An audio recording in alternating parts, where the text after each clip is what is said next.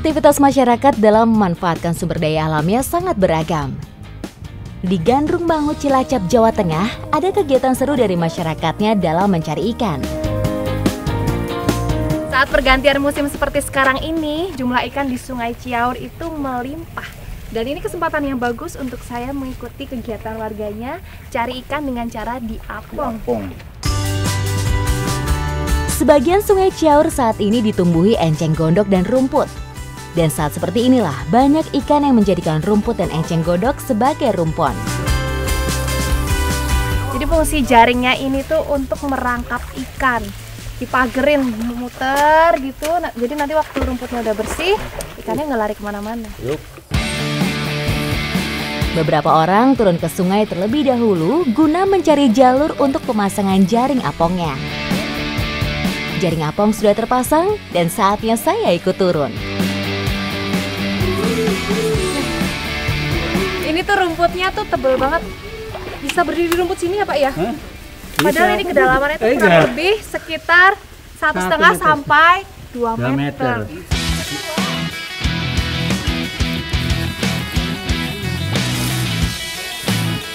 Jadi panjang jaringnya ini kurang lebih 30 meter dan lebarnya tuh 3 meter. Panjang ya Pak, makanya kita harus kerjainnya rame-rame kalau sendiri mana bisa. Mari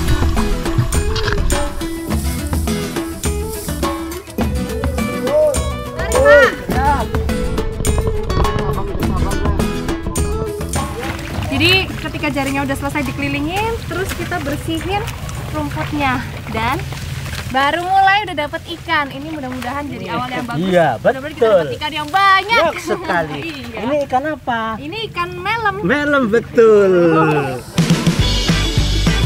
Jaring apong udah melingkar termasuk dari bawah dan ikan pun sudah mulai terjebak.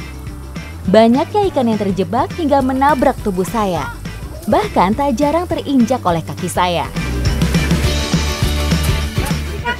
Buku. Betul. Kayaknya buku. Diam, diam, diam, diam. Buku apa ular ya? Film kok. Petik. Petik. Tapi nanti dulu.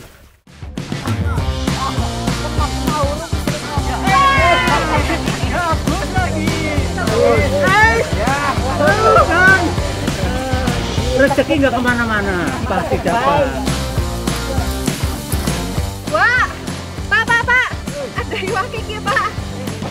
Ah!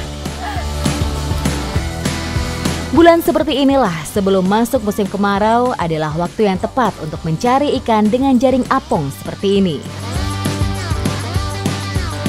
Ikannya udah terperangkap. Sekarang waktu yang ditunggu-tunggu udah datang nih. Waktunya kita narik jaringnya, Mas. Tarik, Mas. Wah.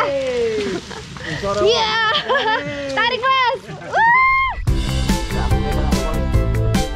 Kita mulai mengambil ikan dari yang paling ujung terlebih dahulu. Dan benar saja, banyak ikan yang sudah terperangkap. Ini dapat banyak ya.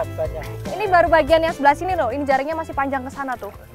Ini satu bagiannya udah dapat segini. Ini ikannya macam-macam ya. Ya. Dan harus hati-hati karena ada ikan caung, ada patilnya.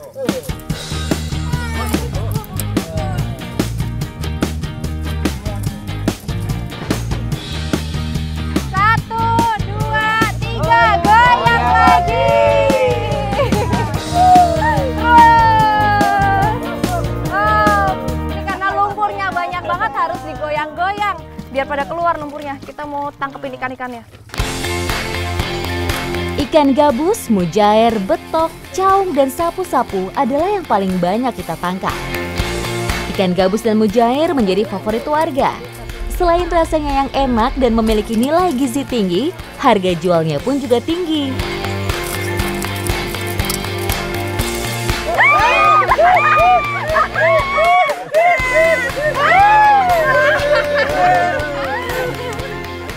Aduh.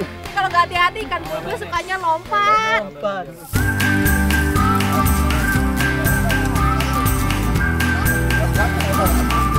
Satu, dua, tiga. Pak ketinggalan ikannya satu. Aduh, karena ikannya lompat-lompat di bawah, susah kita nangkapnya daripada nanti lepas. Mending kita pilih di atas aja ya Pak.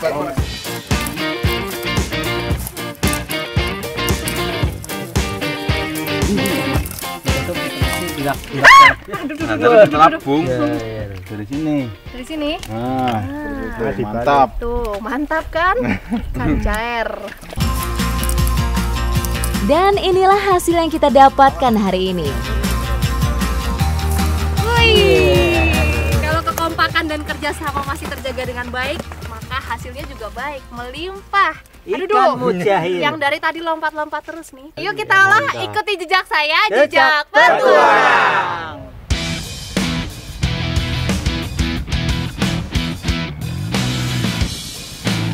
Capek setelah menjaring ikan, saatnya kita mengolah ikannya bersama-sama. Wah ngawur ikan ini wes, ngajak oh, oh iya.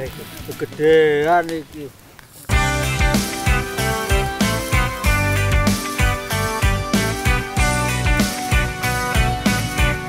Di belakang pada gapetin ikan, saya sama Pak Tuslim Bikin bikin, bumbu. sambal cobek. Sambal cobek. Iya, bahannya cuma sederhana aja, cuma pakai cabe, Cabe, bawang putih, sama kencur. kencur. Tapi jangan salah, rasanya pasti Enak sih.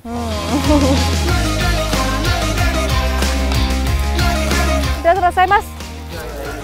Ikannya udah digapit, udah kayak wayang nih ya. Ini